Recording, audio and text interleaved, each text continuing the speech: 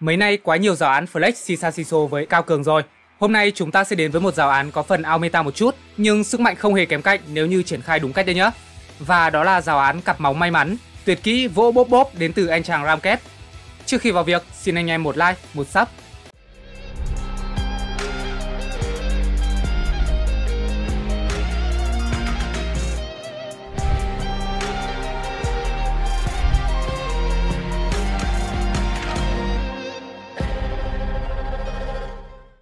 Map của trận đấu này là gói trang bị tạo tác, khởi đầu với một gói trang bị tạo tác. Cung, váy và gậy là ba mảnh trang bị mà Ramkep sở hữu ở giai đoạn đầu trận. Và vòng cho lõi đầu tiên với các nâng cấp bậc vàng thì anh có các lõi như cặp móng may mắn, túi đồ siêu hùng và hạ đo ván. Trong ba lõi này thì có lõi hạ đo ván là anh có thể dùng để fast cấp đánh flex, nhưng vì có lõi cặp móng may mắn là một lõi sở trường nên anh chàng này đã đổi lại lõi 2 và 3. Hai nâng cấp mới là vệ binh linh giới và cơn mưa vàng cũng chưa thể đủ sức hấp dẫn để khiến anh phải thay đổi quyết định chiếc lõi giúp Kobuko Keri sẽ được chọn. Anh mở dương đồ on có 3 món là kính nhắm thiện xạ, vũ khúc tử thần và lưỡng cực Jonya. Nếu như chọn theo hướng đánh về lết thì anh có thể lấy kính nhắm thiện xạ cho một nguồn đam sau như Ire chẳng hạn. Nhưng ở đây anh muốn khỏe sớm nên lấy đồ cho Kobuko, vũ khúc tử thần sẽ được pick.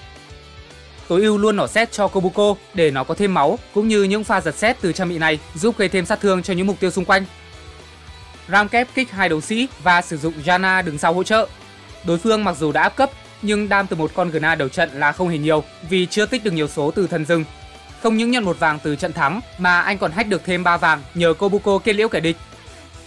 Sau khi đi trở về thì quyền năng là trang bị tiếp theo để anh tin dùng cho Kobuko. Bên kia cũng là một lõi đánh nhau đặc biệt cho tướng là Shen Kerry. Mắt hoàng hôn đã được trang bị hai đồ siêu đẹp là cuồng đao và kính nhắm. Trong lúc Kobuko đang mải farm tiền phía trên thì Shen đã tận dụng tầm đánh xa của mình, thành công đưa Kobuko lên bảng Ram kép mất máu nhưng cũng không thiệt mấy, dù gì cũng đã kiếm được hai đồng chơi này.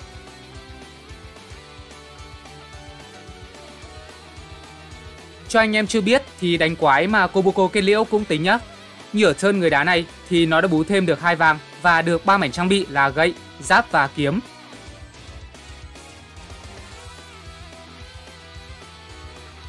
Và đúng như quy trình thì 3.1 anh phải xả vàng để kiếm Kobuko 3 sao thôi vì turn sau sẽ lên cấp 5, tỷ lệ tướng một vàng sẽ bị giảm đi.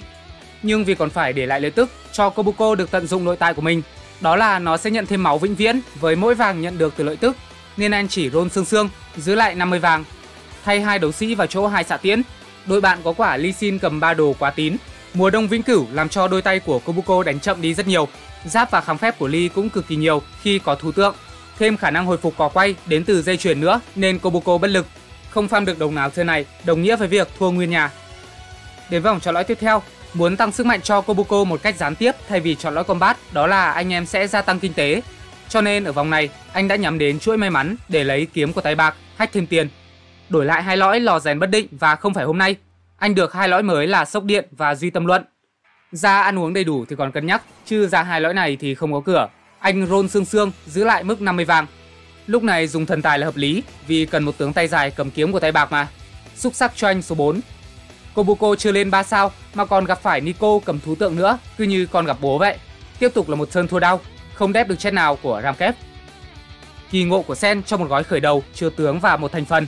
Anh này chọn đấu sĩ, nhận thêm được cái nịt nhưng không có Kobuko. Nhưng bù lại, anh đã roll chay ra được Kobuko 3 sao đây rồi. Anh áp 6, kích 4 đấu sĩ, Silas thần rừng quay xích liên tội vào người của Kobuko nhưng không thấm là bao. Kobuko đáp trả sát thương, tát cái bếp, Silas bay màu luôn. Chuỗi thua dài của Ramkep chấm dứt tại đây. Vòng chợ, anh nhặt về Silas để kích 6 đấu sĩ một cách sớm nhất có thể. Thần tài phải đợi 3 chân nữa mới nổ, mà giờ win lại rồi nên lấy hai vàng bẩn tay quá. Thay vào đó anh sẽ thăng tiến sức mạnh cho đội hình của mình. Bỏ đi Timo và Zoe dùng Alun kích hắc ám với Silas và tuyến trên là phun tướng đấu sĩ. Có kỳ ngộ Manfai trước đó nên cũng dễ dàng tháo đồ Kobuko ra, lắp lại cho nó quyền năng, vũ khúc và trái tim kiên định.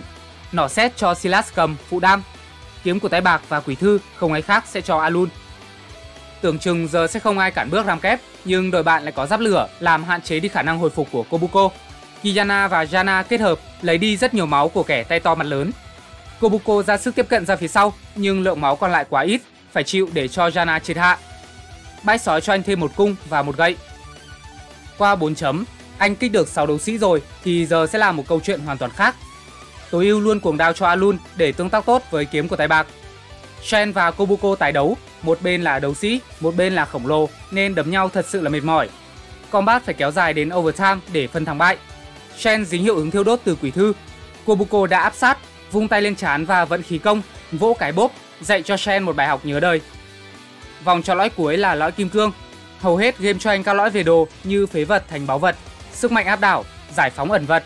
Nhưng các tướng đấu sĩ kia không thể dùng đồ, phải đợi carry năm vàng khác xuất hiện thì mới có thể xài nên anh sẽ không chọn. Thay vào đó anh lấy lõi thăng hoa, rất phù hợp với một đội hình đánh lâu dài như bọn đấu sĩ này. Hy sinh vài đồng lợi tức, lên cấp, thêm Jana, kích thuật sư. Gặp nhà top 1 đang rất cháy, họ còn nhiều máu nên thoải mái eco vàng để lên 9. Thành ra vẫn giữ nguyên phong bài rẻ tiền. Bên kia có một dàn tanh khá cứng nên hai bên trao đổi qua lại tương đối lâu và người có lợi lúc này là Ramket khi lõi thăng hoa giúp anh tăng sát thương. Nico, Lux và Cogmo đều đã yếu máu. Alun dùng tia hắc ám, hành quyết lần lượt từng kẻ một. Đi shopping, anh nhặt được Ire cầm thìa. Bỏ đi Alun, anh đổi đồ sang cho Ire. Jana cũng được thay bằng Lee Sin, kích xong đấu cho Irelia. Nhà đép bằng Jana này thì bón hành đầu game thôi, chứ giờ thì không có cửa nữa rồi. Chưa cần đến Kobuko ra tay, Silas luồn ra sau, quất roi. Kết hợp với những lưỡi kiếm của Ire lấy mạng Jana một cách dễ dàng. Kaisa không có diệt khổng lồ, bắn cứ như gãy ngứa. Ramkep phấn khích nhún nhảy ăn mừng với chiến thắng này. Bãi chim biến dị trả về một găng và dương đồ lẻ. Cho Galio thế chỗ tham Ken để kích sử ra. Chọn kêu bị ngạn đỏ bắp thêm tốc đánh cho Ire. Có đến hai nguồn cung cấp vàng nên Ramkep siêu giàu. 5.1 anh lên 9 mà vẫn còn hơn 40 vàng trong tay. Ấn U Linh sẽ được gắn cho Galio. Còn dư vô cực thì sẽ cho Ire thôi. Nhưng chưa kịp tháo đồ nên tạm thời anh sẽ dùng cho Azir. Nhà Shen đã rút kinh nghiệm sau thất bại trước, nên xếp Shen cùng bên với Kobuko để focus vào vị tướng này từ sớm. Nhưng đang chèm khí thế thì Shen bị Galio khiêu khích phải đổi mục tiêu. Azir triệu hồi thêm lính cát cho Shen mải kiếm. Tính toán là có, nhưng kế hoạch của đội bạn đã thất bại. Giao tranh vẫn kéo dài cho đến lúc thăng hoa. Tướng bị kẹt, Kobuko không thể vào trong để vã Shen nhưng lực lượng team ta vẫn còn quá đông. Shen không thể một mình cân hết được, chuỗi thằng 3 cho Ramkep. Kỳ ngộ của Garen xuất hiện. Trong 3 vòng tiếp theo, tướng được mua sẽ nhận vĩnh viễn 100 máu. Anh update được Galio và Achok 2, thêm set kích hắc ám. Lắp lại đồ cho Ire là cuồng đao, vô cực và kiếm của tay bạc. Quỷ thư sẽ cho Silas.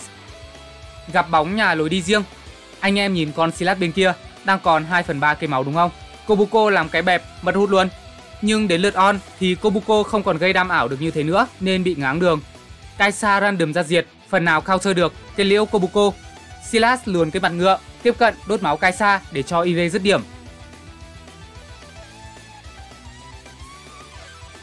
Rakan tự ra, anh cho thế chỗ xét, có được hai hệ là Long Vương và Quý Nhân. Đối thủ lượt này là nhà thần rừng, mạ vàng được cả Gna và Kindred Đội bạn xếp hay, có chủ đích để Gna không solo chính diện với Kobuko ngay từ đầu, nhưng sau một lúc thì Gna cũng phải vác mặt đến tìm Kobuko thôi, và mắt xích thượng cổ là kẻ phải nằm xuống trước. Kinred nhảy nhót, giữ khoảng cách chấm dứt được Kobuko, nhưng vẫn còn Ire đứng ở góc nãy giờ không bị ai chạm đến. Cô điều kiếm, kết liễu Kinred trả thù cho đồng đội của mình. Về late game, đến 6 chấm, Ramket đã lên 10, update cho mình set 2 sao. Silas 1 sao nên phải tháo đồ ra thôi, dồn lại cho Galio nỏ set còn khăn và quỷ thư cho đại ca. Nhà xanh sao từ đầu đã hoàn thiện đội hình Exodia. Ani vừa hóa gấu bị xét bế đi, xét danh mãnh trả trộn được ra phía sau, đấm thường rồi lại tiếp tục nện thêm phát nữa, không cho họa sĩ được chơi game. Bên kia có Lisandra nhưng khóa mục tiêu vào Galio, Kobuko được tự do, tàn sát hết Ani rồi đến Lisandra. Quân cờ duy nhất có thể counter Kobuko lúc này đã ra đi. Dưới sự bảo kê của Kobuko, Ire vạn kiếm quy tông lấy đi trận đấu dù đã cấp 10 nhưng anh vẫn chưa thể kiếm ra được Ire thứ hai nên phải nhờ sự trợ giúp đến từ vòng chợ 6 chấm.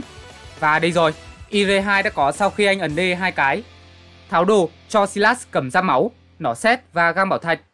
Gặp bóng của Shen, kịch bản vẫn như cũ, Galio gồng người, khiêu khích, cứu mạng Kobuko. Không để đồng đội thất vọng, Kobuko chấp lấy thời cơ, đi bộ thẳng xuống vị trí của Shen, tấn công hắn. Shen cầm một cuồng đao, thiếu tốc đánh trầm trọng. Trong khi đó đồng đội của anh đã bị Ire Seth và Silas bón cho mớ hành lên thiên đàng hết rồi. Sen là người nằm xuống cuối cùng. Ở một diễn biến khác thì người thật của nhà Shen đã đánh bại được thần rừng. Vòng 6.6, giao tranh nổ ra. Seth của Thread xong đến tính sổ với Shen. Mắt hoàng hôn tốn thời gian cho Galio vì bị khiêu khích. Set bế Shen rồi bồi thêm 2-3 đòn đánh thường là đủ để Shen đăng xuất khỏi cuộc chơi. Chủ lực của địch không còn nên sát thương cũng chẳng có là bao. Ram kép thắng đậm 6 chess đưa máu linh thú của đối phương về con số 0 và kết thúc trận đấu tại đây. Nếu thấy video hay, đừng quên để lại một like và ấn chuông thông báo để nhận các video mới nhất từ bọn mình nhé. Còn bây giờ thì xin chào và hẹn gặp lại anh em trong những video lần sau.